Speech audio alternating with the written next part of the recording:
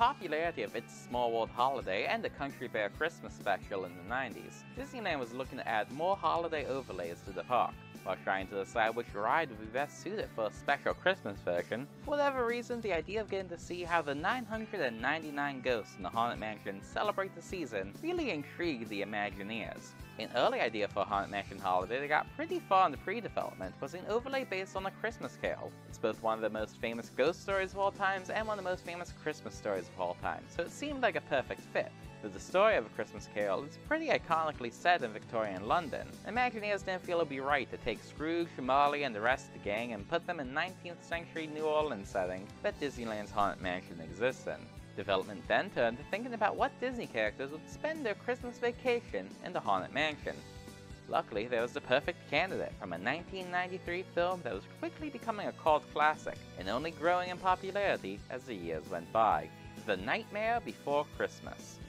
The story of the overlaid ride is simple, and much like the regular Haunted Mansion, details might change depending on who you ask. After the events of the movie, Jack realizes and accepts that he should leave Christmas to Sandy Claws. But then he learns of a mansion full of spooks and specters that might be better served by Halloween Town's unique and terrifying take on the season, rather than Sandy Claws's classic Christmas.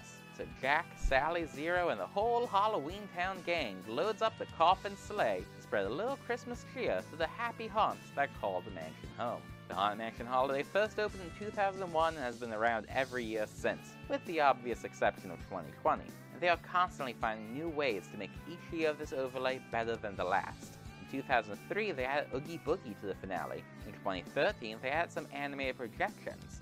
In 2016, they added Sally staring longingly at her beloved Pumpkin King.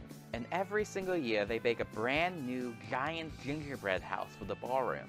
It's clear that this experience is a real labor of love for the Imagineers who work on it, and for the most part, fans adore it too. But it can be a bit controversial. It takes almost a month to set up and almost another month to tear it down. And since they have it open for both Halloween and Christmas, that's nearly four months out of the year the Haunted Mansion holiday is open. Add that all up, and it means that the Haunted Mansion, one of the most iconic Disney rides of all time, is closed in Disneyland for almost half of the year, every single year. So the Nightmare Before Christmas version is charming enough that wins most people over. There's always a bit of frustration over just how much time the original is closed. It was a long time ago, longer now than it seems, that Disney was planning to add a version of the Haunted Mansion holiday to Walt Disney World, so while Disneyland is usually seen as more of a locals park where the average guest comes a couple times a year, Disney World is generally viewed as more of a once-in-a-lifetime experience for its average guest. So the issues with closing a classic ride for so much of the year would be amplified if it was on the East Coast.